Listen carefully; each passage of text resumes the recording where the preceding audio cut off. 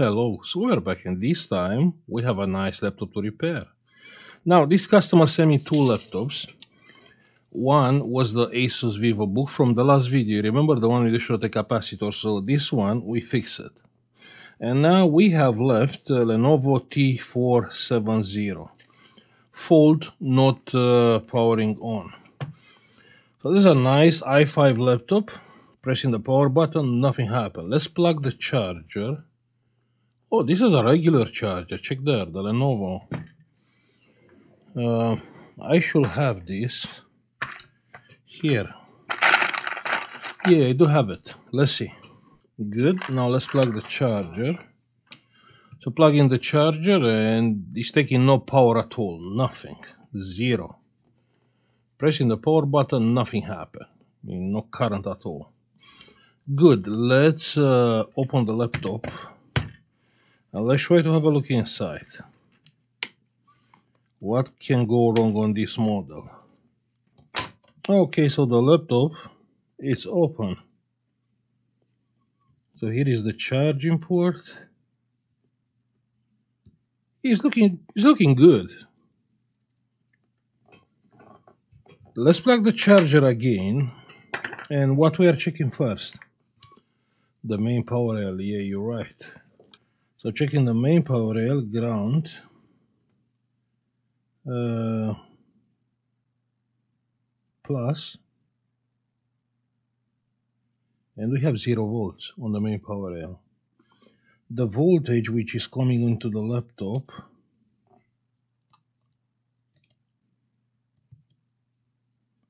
let's see 19.5 check on the screen. So the voltage it is coming on the motherboard but the main power rail is missing. Uh, I can't see the input circuit here. So I'm assuming we have to take the motherboard out. You know what? We checked and the main power rail is missing. But one second. The main power rail is shorted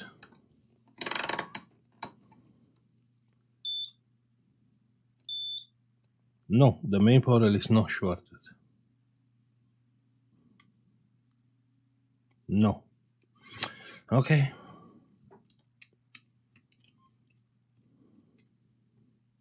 You can't really get lucky twice, yeah?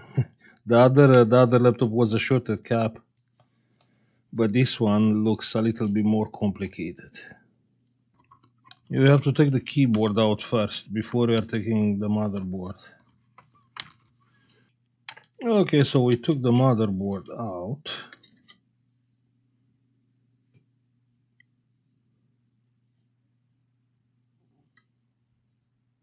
Huh? Can you spot any problem?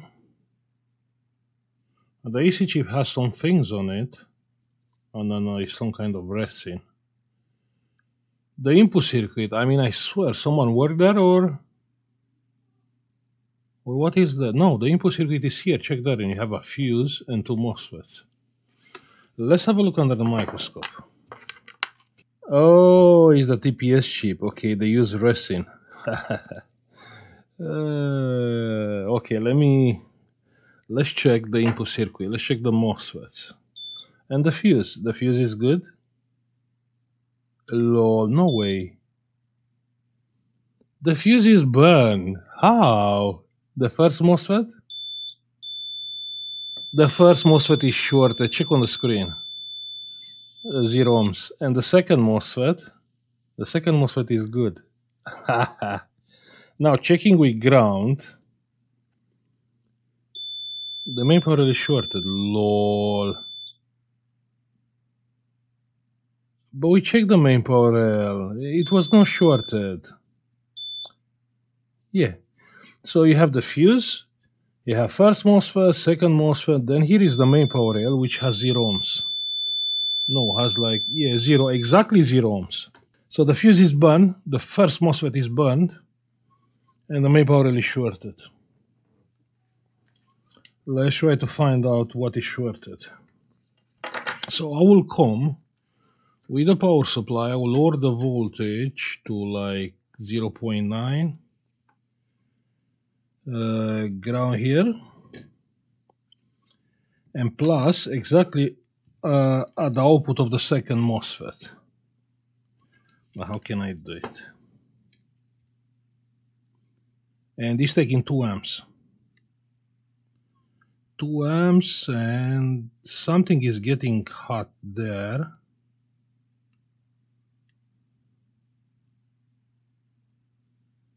And that's all, nothing else. Only, only there.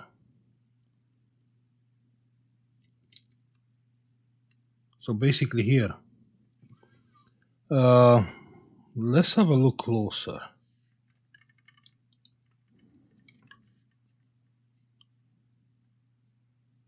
So here somewhere, let's use some alcohol, alcohol and coming with the power here. That cap is getting evaporated first. Check there. You can see? The problem is the short resistance, yeah? Ch check on the voltage, yeah? 0.4 volts. So I will raise the current, 4.6. Yeah, pay attention on that capacitor. So that capacitor, check there, is bubbling. You can see it? Check there, it's bubbling. Just to understand the amount of current uh, that capacitor is carrying. Yeah, the capacitor is gone. Let's remove that uh, capacitor.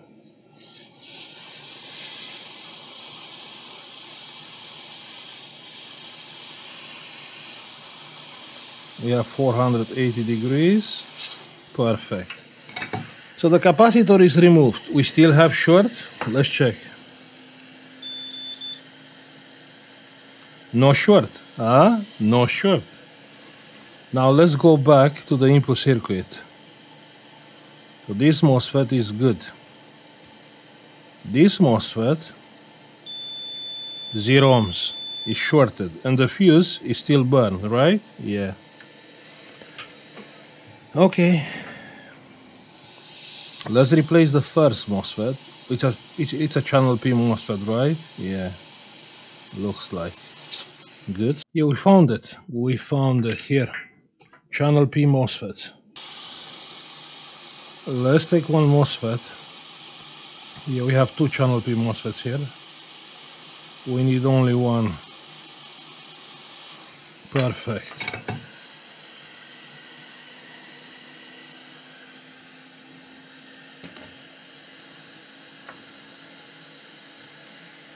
Yeah, let's solder this MOSFET here. Like that. Good.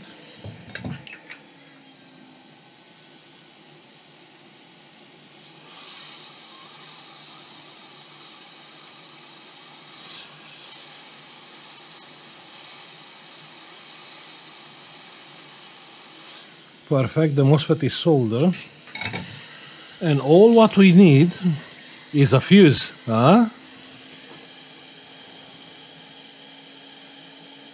If I'll remove the fuse, you'll say oh, i am dodgy, right? Yeah. That's what you'll say. Let's do it right. So basically, you see this is a ceramic fuse. So inside of this fuse, you have a tiny wire which got burned. So I'll leave the fuse here. I will only replace the wire which is burned. Yeah. That's why we are calling this a proper calibrated fuse. Yeah. Perfect. Now, if I'm coming with uh, 19 volts, what will gonna happen? Let's see. So 19 volts. Good. Coming with 19 here, and it's taking 560 milliamps. Check on the screen. So probably the board just yeah, the fan is spinning. Check here. Check here the fan. Yeah, just stop. So I believe this board it's working fine. Uh, that's what I believe. I can't believe this is a lucky customer. I mean, both laptops, uh, they have uh, fixable faults. Okay, let me put the board back. I will uh, quick forward uh, the video. Okay, so the laptop is back in place. Plug in the battery. Good. Let's plug the charger. Plug in the charger and it's taking no current. 10 milliamps. Let's press the power button. Coming on 700 milliamps. Check that. Huh? We reset the BIOS, so probably we have to wait a little bit.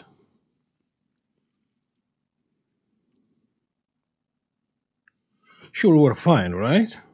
Yeah. 800. Probably the battery is not charging because uh, because my charger ID pin. So the laptop switched off.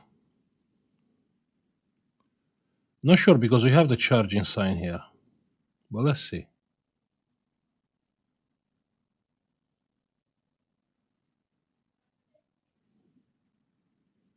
Huh? Should have picture, just wait. No, I'm proper confident on this one. I mean the the fault was have nothing to do with the with the picture. 900 and we have picture. That's crazy. I told you. I told you I'm confident. Uh, my concern is the battery. I mean, 600 milliamps does the does the power which is taken by the by the board. Escape to continue.